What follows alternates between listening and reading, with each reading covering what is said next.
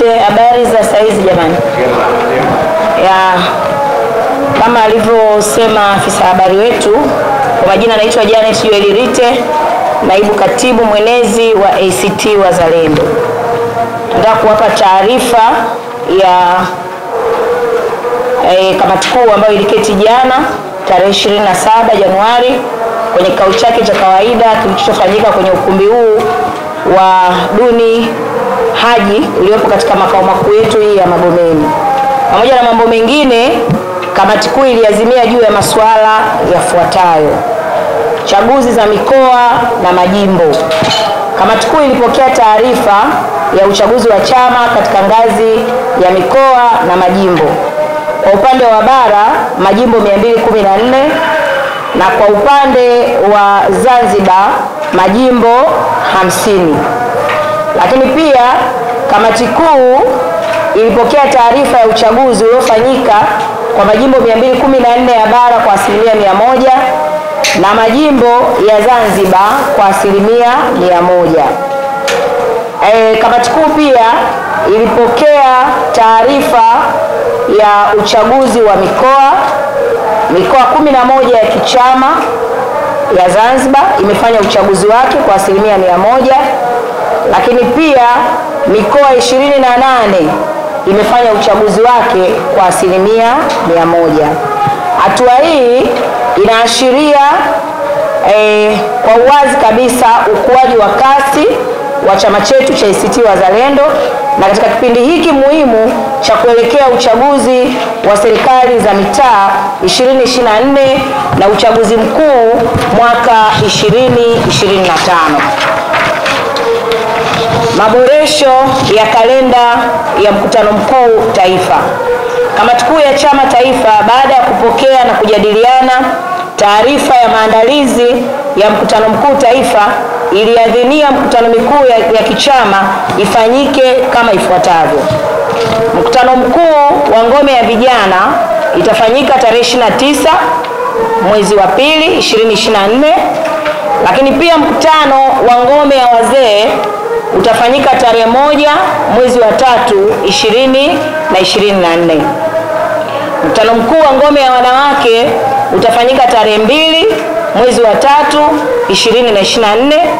Mkutano mkuu taifa utafanyika tarehe tano na tarehe sita 20 24. Mkutano mkuu baada ya kumalizika utaambatana na mkutano wa hadhara wa kutangaza viongozi wa chama waliochaguliwa. Mkutano huo utafanyika tarehe sita Machi. Wapi? Mtatangaziwa. Uchukuaji na urejeshaji wa fomu za kugombea utakuwa kati ya tarehe 14 mpaka tarehe 24 Februari.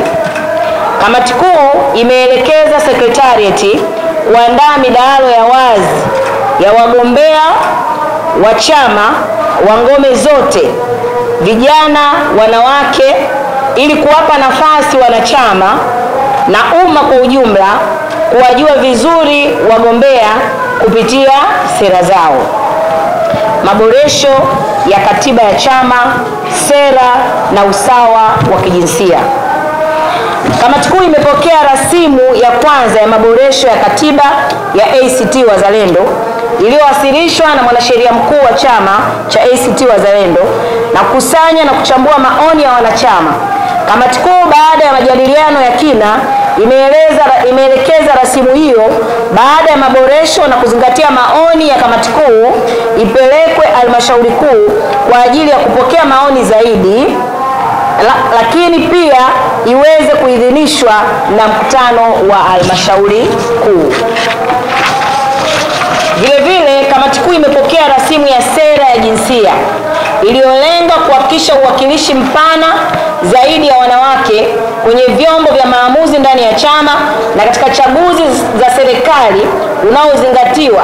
Kamati kuu imeeleza kuwa rasimu hiyo baada ya maboresho ipelekwe kwa kuzingatia maoni ya kamati kuu ipelekwe halmashauri kuu ya chama taifa kwa ajili ya kuidhinishwa. Katika hatua nyingine, kamati kuu ilipokea rasimu ya sera ya kuwaenzi viongozi wastaafu waliotumikia chama kwa heshima, bidii na utii.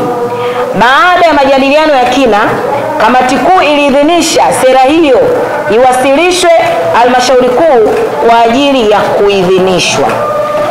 Uteuzi wa makatibu wa majimbo. Kamati kuu ya taifa ah, sorry, uteuzi wa makatibu wa mikoa na majimbo.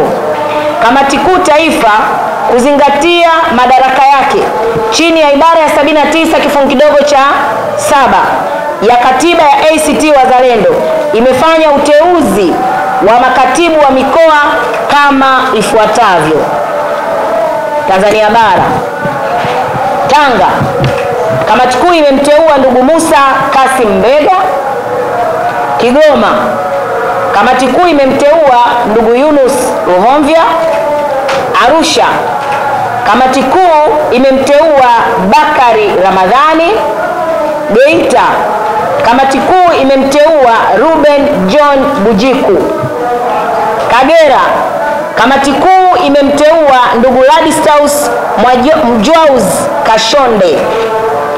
Njombe, kamati kuu imemteua ndugu Stanley Mbembati. Morogoro, kamati kuu imemteua ndugu Vine Mtingwa. Dodoma, kamati kuu imemte, imemteua ndugu Sande Julius Madinda.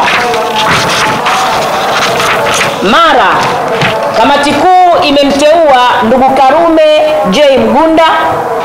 Mbeya, kamati kuu imemteua ndugu Athmani Mrisho Kabogo. Songwe, kamati kuu imemteua ndugu Michael Nyilawila. Mwanza, kamati kuu imemteua ndugu Butije Hamisi Butije. Kilimanjaro, kamati kuu imemteua ndugu Joseph ndugu Lilian Joseph Mushi, mwanamama huyu. Selu, kamati kuu imemteua ndugu Mtutura Abdala Mtutura. Tabora, kamati kuu imemteua ndugu Hamisi Mwandu Mahanga. Ruvuma, katibu mkuu, kamati kuu imemteua ndugu Tasiro Milinga. Iringa, kamati kuu imemteua ndugu Paulo simba Simbachawene. Singida, kamati kuu imemteua Emmanuel Piusi Ipini. Simiu, kamati kuu imemteua ndugu Makalanga Tebe. Mtwara, kamati kuu imemteua ndugu Sharif Hassan Bilali. Shinyanga, kamati kuu imemteua ndugu Omari Gindu Gindu. Rukwa, kamati kuu imemteua ndugu Januari ya Msebo. Lindi, kamati kuu imemteua ndugu Faustin Abdalla Alfan. Manyara, kamati kuu imemteua ndugu Mwadawa Hamisi. Katavi, kamati kuu imemteua ndugu Bwandu Ndaje. Kahama, kamati kuu imemteua ndugu Frank Charles Makalanga. Dar es Salaam, kamati kuu imemteua ndugu Felix Kamugisha. Uteuzi wa mkoa wa Pwani utafanyika wakati mwingine. Zanzibar, kamati kuu imemteua ndugu Halim Micheweni imemteua ndugu Halim Ahmad Shehe. Wete, kamati kuu imemteua ndugu Masud Juma Mohamed. Chake Chake, kamati kuu imemteua ndugu Sale Nasoro Juma. Mkoani, kamati kuu imemteua ndugu Hamis Tahir Awes Mohamed. Kaskazini A, kamati kuu imemteua ndugu Shea Amis Ali. Kaskazini B, kamati kuu imemteua Abed Haji Abdalla. Magharibi A, kamati kuu imemteua Othman uh, Muhamed Abdalla Mahaja. Magharibi B, kamati kuu imemteua Salim Ali Hamisi. Mjini, kamati kuu imemteua ndugu Muhamedi Ali Mahinda. Ni mjini eh? Mahmud Ali Mahinda, sorry. And kati kamati kuu imemteua ndugu Omar Hamisi Haji. Kusini kamati kuu imemteua Mohamed Kombo Ali. Huo ndio uteuzi uliofanywa na kamati kuu ya chama chetu hapo jana.